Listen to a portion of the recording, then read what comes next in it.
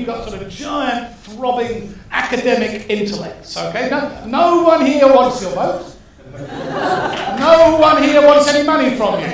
As I've come to appreciate just how remarkable these rivers are, that we have these big, pristine rivers that are nested in these magnificent landscapes that have amazing water quality. But as I drive from Dunedin to Queenstown, uh, seeing this in reverse, what happens to these rivers. Uh, and part of the challenges we have at the moment is about understanding what we want from our rivers, what do we value, and how do we have this contested knowledge. I see problems, problems everywhere.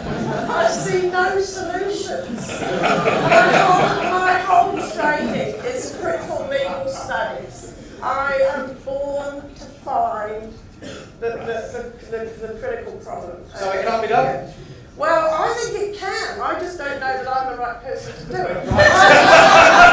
I've got a key component. I've got a key component, short-term water rights. So how can we prevent shifting baselines and uh, tipping points from occurring in our lakes? In a nutshell, we need to have a good understanding of how our lakes respond to land use change and climate change careful monitoring of the lakes, including monitoring of early warning indicators of change, and robust lake and catchment management plans that ensure that the key values of our lakes are safeguarded.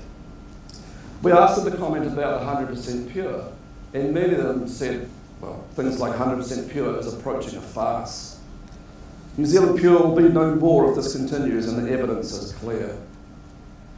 And they talk about 100% pure bullshit or 100% pure cow shit. No, I don't think mass market tourism is our way. I think, I think the, probably the, the weather vane, the, the barometer by which we can measure all these things is probably the water.